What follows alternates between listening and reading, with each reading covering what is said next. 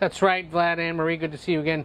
White House issued a very short statement from the President and First Lady just a while ago. A spokesman passing along, quote, the President and First Lady love their son and support him as he continues to rebuild his life. We will have no further comment.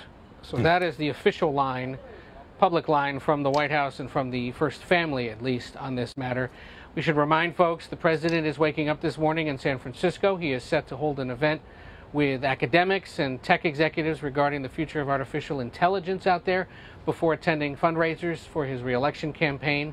Uh, he's spending the night there in uh, the Bay Area again tonight before flying back here tomorrow to host the Prime Minister of India later in the week. So he's got a jam packed schedule. We will see over the course of today how close reporters get to him to see if he has anything else to say on camera about this.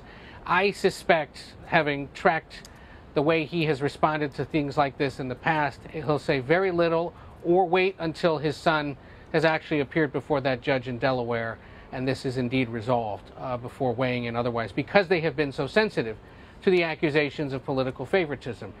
Aides have gone to great lengths to remind us that the president has never, according to them, discussed this with the attorney general, never discussed the matter involving his son or any other member of his family, that he kept in place the Trump appointed U.S. Attorney for Delaware, who had worked for Attorneys General Jeff Sessions and Bill Barr and stayed on to work for Merrick Garland and continue this investigation so as to remove any suggestion that he was being removed because he was investigating Hunter Biden.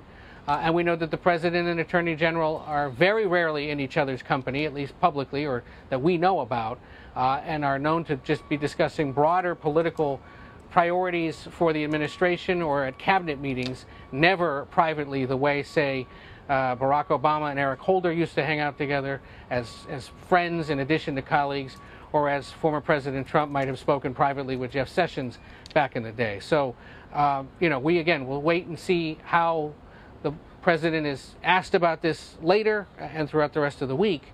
Uh, but for now, that's all they have to say. But you know, uh, uh you know how some people consume the news, right? They read the headlines, they stick around for the breaking news title, and so they're going to hear Hunter Biden pleads guilty and maybe not even hear the rest of this. Um, how could this impact the president's reelection campaign? Well, and, and, let's clarify what you just said. He agreed to a plea deal, mm. which doesn't necessarily mean means he pleaded guilty to all of these charges. Remember, he's acknowledging the gun possession, not necessarily pleading guilty to something quite yet. And again, it all remains to be seen what the judge ultimately decides to do. So let's Let's just clarify that. Yeah. How will it affect the reelection campaign? Look, Republicans talk about this every day. Noun verb Hunter Biden. Where's Hunter? Two tier justice system. It will continue to be fodder on the Republican presidential campaign trail for sure. We will wait and see how they respond throughout the day today, whether it's former President Trump himself uh, or uh, other candidates who will be out and about. There aren't many holding public events today necessarily. Um, and, and, then, you know, uh, we'll see broadly how the conservative media space continues to respond to this. There are some already suggesting this is just the latest example of a broken justice system, a justice department that needs to be completely hollowed out and rebuilt, as some presidential candidates like Ron DeSantis, Vivek Ramaswamy, and others have said needs to happen. We do have a statement, in fact, from the super PAC that backs former President Trump. And it says, in part, Biden's Justice Department is cutting a sweetheart deal with Hunter Biden in order to make their bogus case to get Trump appear fair. Meanwhile, Biden's DOJ continues to turn a blind eye to the Biden family's extensive corruption and bribery scheme. The American people need President Trump back in office to appoint a truly independent special prosecutor that will finally bring justice. So that's an example of the kind of Republican response we're going to probably see throughout the day. And of course, officially, House Republicans are going to continue to use the official taxpayer funded levers at their disposal to continue investigating this matter, seeking information from the Justice Department about it, as they have been doing so since they retook control of the House earlier this year. And we should just remind people that, you know, there has been an investigation into Hunter Biden's business practices since 2018 in Ukraine, in China, in Kazakhstan. It hasn't turned up evidence of wrongdoing thus far. And in terms of the congressional investigation, they put out an interim report. They also couldn't find evidence of wrongdoing. So, you know, at, at this point, um, it's not like uh, there's evidence out there that's being ignored. They're trying, they're just not finding it. Exactly. I think that's a, it's a good way of describing it. And, and those investigations continue, will continue.